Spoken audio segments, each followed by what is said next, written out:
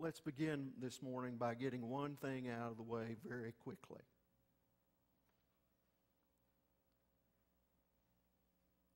Scripture Jesus suffered under Pontius Pilate, was crucified, dead, and buried, is not one of our favorite subjects. In third world countries, we sometimes think a little bit differently that maybe we do in uh, the U.S. and in other areas. We think of Easter Sunday as that wonderful day. But remember, I've said before, a lot of folks were there on Palm Sunday and then they come Easter Sunday. We celebrate the entrance of Jesus into Jerusalem and then we don't come back until he's resurrected from the dead. But there's a whole week of things that happen. And in those third world countries, the day that is higher than Easter Sunday is Good Friday. Because they identify in the plight of their life and their brokenness and in all the things that they face, they realize that there was one who understood them, who came to give his life for them. So if you feel a little bit uncomfortable this morning, just remember it's only one part of the Apostles' Creed, and I believe. But there's a lot that we read and we pass over when we read those words. But there's some wonderful significance that we need to know a little bit more about. It's been uh, one of those things that I can say to you, it's been a little rough in the office this week. A little rough in the reminder for me and I want you to think about this for you. If you had been the only one, Christ still would have gone through what he went through that you and I might have life. And sometimes we don't always recognize our significance and our great value, but we are valued by God. But there's a problem. Something separated us from God. And Trace, you made mention of that. We were separated from God by sin. And if not for Jesus Christ, there would still be that separation. But we have a way that we can know the love and the grace of God. Let me hit just a couple of phrases from a couple of the earlier sermons. Jesus is one with God. Jesus is the incarnate, the Word become flesh. But also remember last week we said Jesus was born of a virgin in his sinless life. That will become even more critical to our understanding when we understand his suffering, his death, and his resurrection. Scripture reading is uh, just a few verses from Matthew 27. Now, I've tried to be kind and considerate for me and for you, uh, especially for those who read and knowing that you're standing for the reading of the Holy Scripture, but we really should have read the whole chapter 27 if you're going to understand a part of that suffering. And yet, in the midst of all of that, uh, there are still a lot of things that we don't know unless we look more at the historical. These are the highlights of what uh, the gospel writer shared with us probably best could be pictured by a, a piece that was uh, shared long ago from an artist called William Holman Hunt, who in the late 1800s was in the Holy Land. Found himself and drawing a particular piece of artwork. And it's a picture of where Jesus is standing in the carpenter shop. His workbench is in front of him, and probably as some of us do. And the other day, the only thing I could say, I was, uh, was writing, and all of a sudden I got a cramp in my hand. And I know you're saying, you know, we don't write that much anymore, but, you know, if you were on a computer or whatever and doing that. But, but to get that cramp, and Holman was, and Hunt was probably at the point that Jesus was needing that break. Standing behind that bench, he stopped and he raised his hands to stretch. Hunt's picture depicts the sunlight coming through the doorway. And as Jesus is standing there, there is a shadow that is cast on the wall as if Jesus were hanging on the cross. But all through the life of Jesus, from his birth through his death on the cross, there was that shadow of a cross that was always there. Remember, from his birth, Jesus was born to die. Jesus was born to die. He said, This is the cause. This is the reason I came. As we think about in the midst of our lives, we can recognize and probably say, well, there are several questions that come to mind when we do that. And let me see if I can just lift up a few of them. It was Jesus who died, not the Father, not the Holy Spirit. The second part of the Trinity, second person of the Trinity in Jesus. How did he die? Or how did he suffer? He suffered in body and spirit. Let me just quickly throw some words out to say, not just bodily, but spiritually. All you have to do is think of some of the words that Jesus shared in those last hours of his life when he said, Father, let this cup pass from me. Have you ever said something? Do I have to do this? Do I really have to have surgery?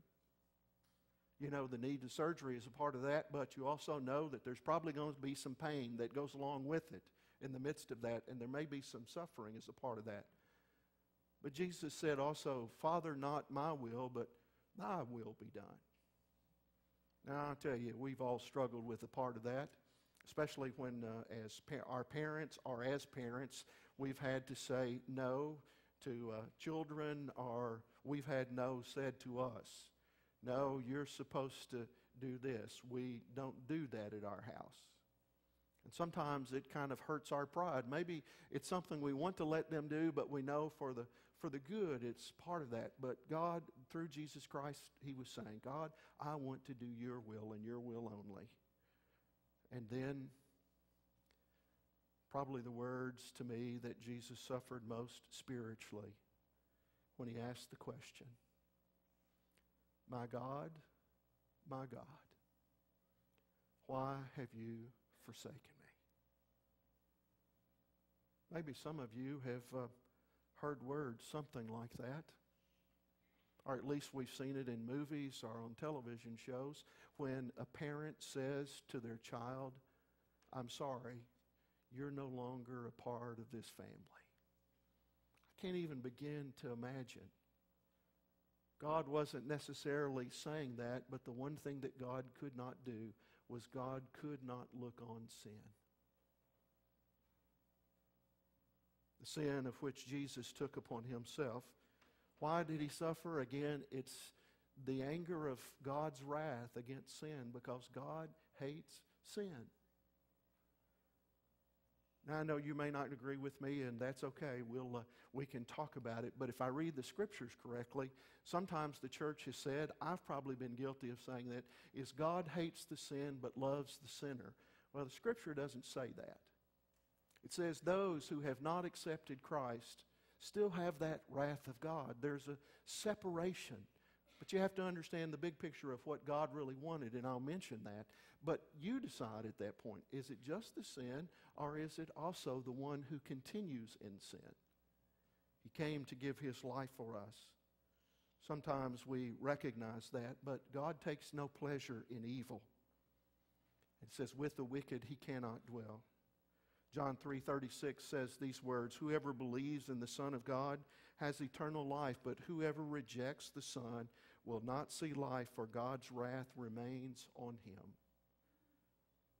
When did Christ suffer? We think of our lives, and he suffered uh, the entirety of his life, and especially at the end. Let me give you a couple of instances. He suffered by taking on the nature of a servant, leaving all that he had in God's presence to become a human being, to struggle and to face the adversities a part of that in his private life, and you may question a part of this, but by taking up residence with his family and living, if you think about it and know the understanding, living in oppression, under rule, and also in obscurity. Very little. You know, to look and see a carpenter Not well known name, family of Joseph and of Mary and all that went at that point, but Jesus suffered some things because of that. You and I know at times, maybe even some have faced that in their life because of the lack of the necessities and the struggles of life. You're here today because you have been an overcomer, but you can remember that day, maybe, or at least your parents can, when there was very little that you had.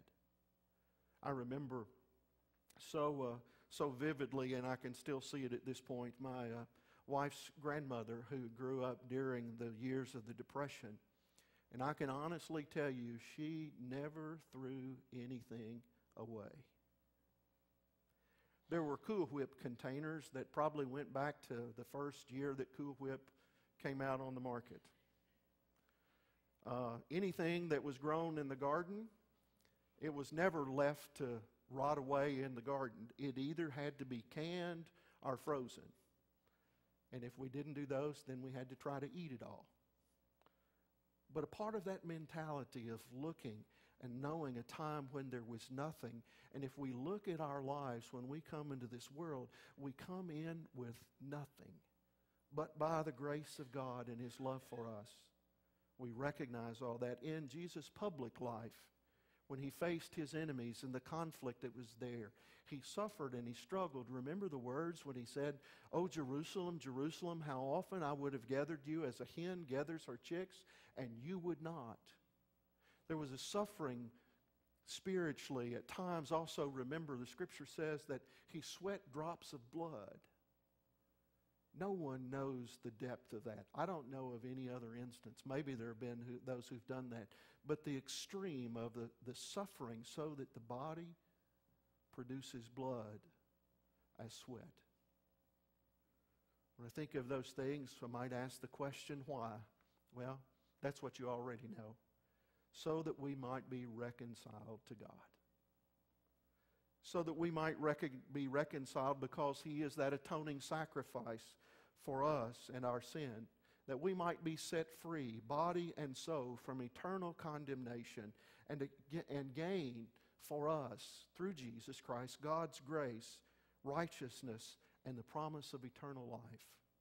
Christ brought about reconciliation with God by his suffering. There are numerous passages, probably too many for me to mention, but you know they're there. But Romans 5:10 says, "When we were God's enemies, we were reconciled through the death of his son, Jesus Christ." Suffering is a part of that. For whom did Christ suffer? Sometimes there are those who don't know exactly. But we might say, and if we are mindful, we can say that Christ suffered and died for all of humanity. Nobody was left out. It was God's will and God's heart and God's desire that all would be saved. Isn't that what the scripture says? That all. Does that leave anybody out? Not just some. But yet we hear some words sometimes and we say, well, there are those who are the elect. Well, if there are those who are the elect, what of those who are not elected? If there's a group that will and a group that won't, then there's a struggle, and not all of humanity is included. The scripture sometimes in some denominations talk about being predestined. Wesley struggled with that to say, well, you know, it's a part of saying you're predestined to heaven, those who will be with God. And Wesley said, well, if there are those who will be and are predestined for that, there are those who are predestined not to be. Let me give you an example. What if you what if you lived all of your life with this part of predestined in your mind, all of your life for Christ, and then at the end, miss the kingdom of God? Or the other side, to live one's life any way they want to, and at the last minute, accept the love and the grace of Jesus Christ. Are you in or are you out? The scripture says these things are written that you may know that you have eternal life. It was because God came for all of humanity. No one is to be left out my thinking sometimes, and others again maybe have questioned that, and you can question it, but it's a place for a discussion, is that again, it was God's heart and God's desire that all were elected. All of humanity was elected. That was His desire. All of humanity was predestined to be with God. But there's one little hitch God gave us a free will and we have to make the choice.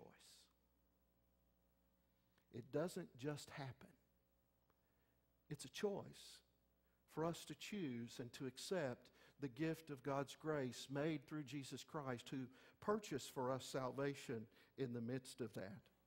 God gives us that free will to choose. Suffered under Pontius Pilate. You ever ask, well, why did they put that in there? Why did they put the name? Why did there have to be a name? Couldn't you say that he suffered, he died, and rose again? Why a name? And why Pilate? Couldn't it have been Herod? It could have been. Could it have been Caiaphas, the high priest? It could have been. But I want you to know that the name Pilate in the Apostles' Creed is of great theological significance. Did you know that? Do you know why? Remember when Jesus was arrested in the Garden of Eden? He was taken to Ananias, who happened to be the father in law of Caiaphas. If you go back and look a little bit more at history, you'll find that the high priest, usually considered from the same family, it was almost like a father being a particular politician and thinking that the son is supposed to follow through.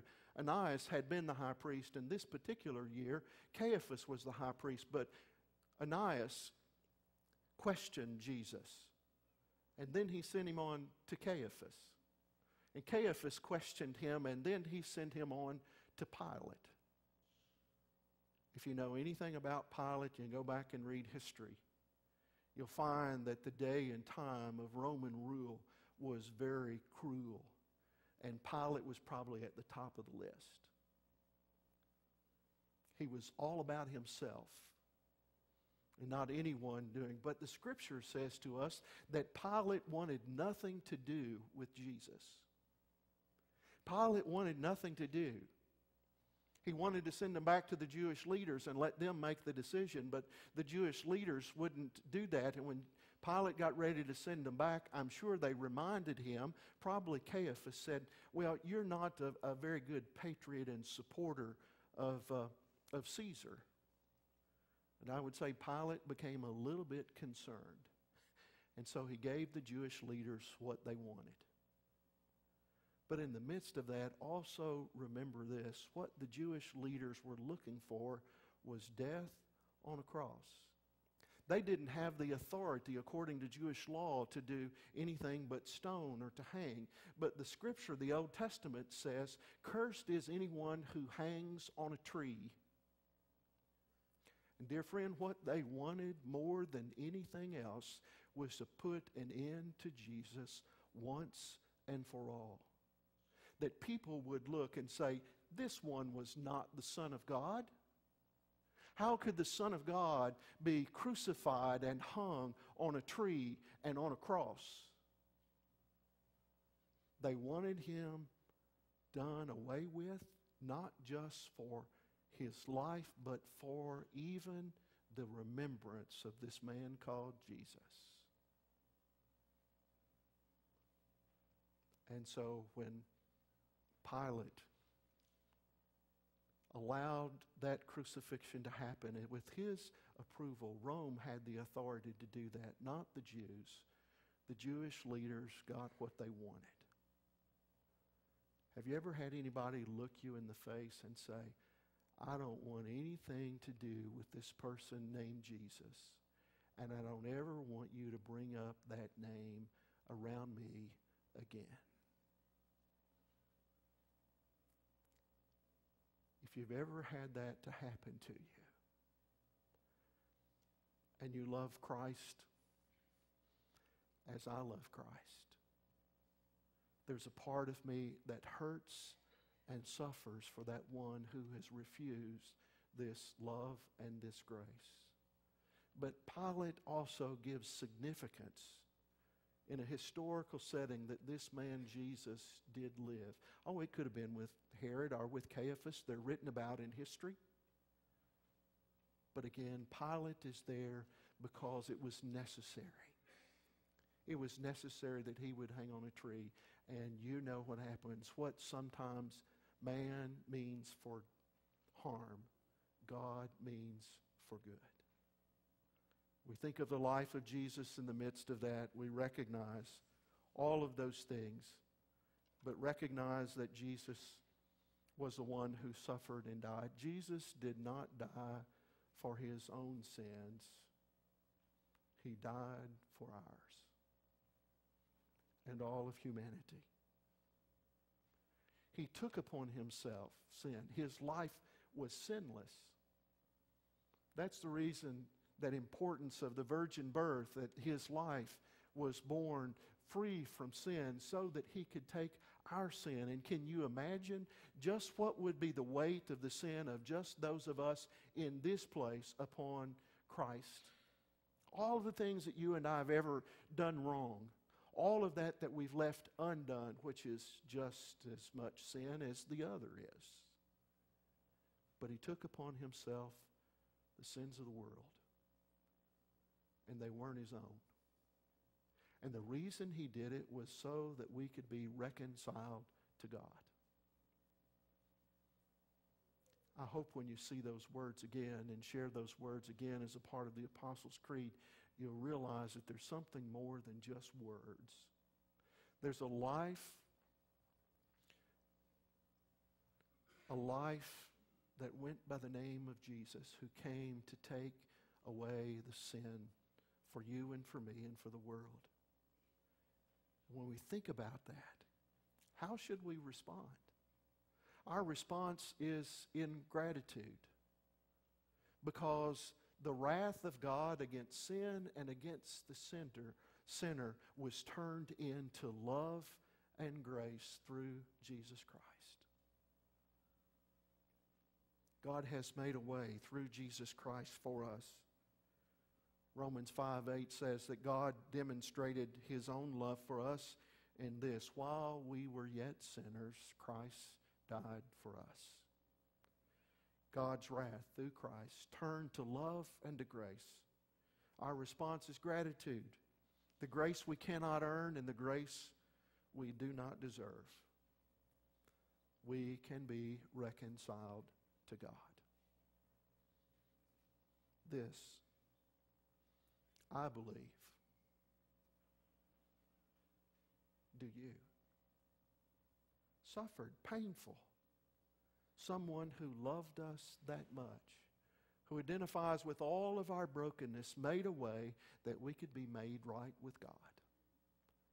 And yet, He longs even today to do the same.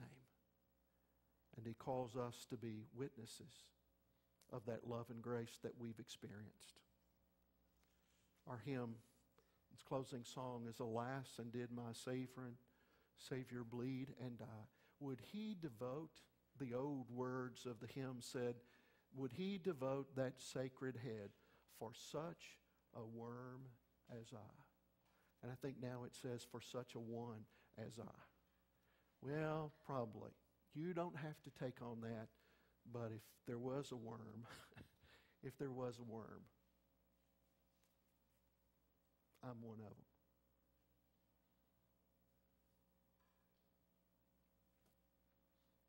But he loved me enough to suffer and to die that I might have life. And I will be eternally grateful, not just for this life, but for the promise of the life to come. And that's another sermon down the road. Let's pray.